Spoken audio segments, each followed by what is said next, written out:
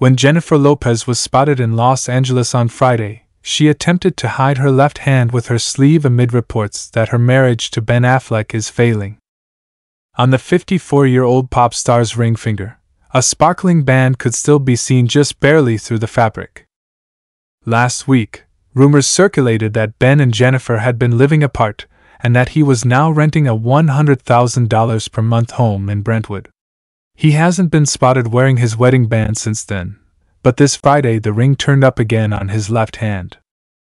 Jennifer reportedly tried to hide her emotions that day by covering her left hand, but a ring momentarily showed through. Max and Emmy, Jennifer's 16 year old twins, have Benny Medina as their godfather, and Medina has been her longtime manager and close confidant. She came out of a dance studio wearing a loose fitting pair of sweatpants that let her flaunt her incredibly toned stomach.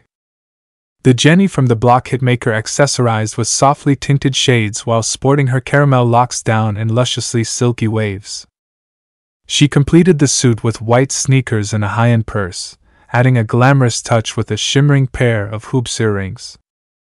Ben went for a coffee run that day with a thoughtful look on his face, but his wedding ring was securely on his finger.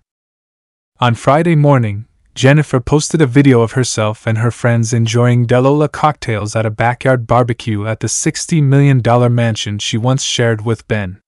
Ben was also seen delivering pizza to the $100,000 per month rental he is renting close to his ex wife Jennifer Garner.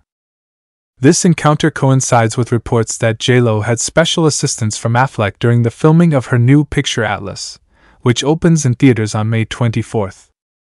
In an interview with Entertainment Weekly, co star Sterling K. Brown, who plays Smith in the Brad Peyton directed film, disclosed that every now and then Ben would read the lines for Smith. I think the newlyweds still very much in love. I think she just wanted to hear his voice. Brown continued, Thus, occasionally, her responses were a result of her listening to her husband's voice. Affleck and Lopez are rumored to have disagreed on public attention since Lopez revealed personal information about their romance that was reignited in her April Prime video documentary.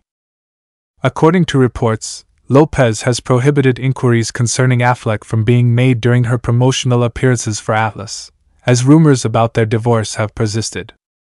The insider claims that Lopez only agreed to take part in group interviews with co stars Simu Liu and Brown, and that this information was also communicated to the media.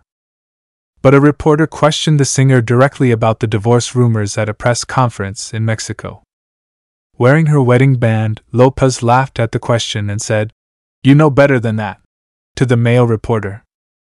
Lopez has three divorces under his belt. The singer wed for the first time in 1997 to 49 year old Cuban actor Ojani Noa. Eleven months passed throughout it. In 2001, she remarried to 54 year old choreographer Chris Judd. The two parted ways in 2003. After tying the knot with singer Marc Anthony, 55, in 2004, Lopez gave birth to twins Max and Emmy, 16, throughout the course of their 10 year union.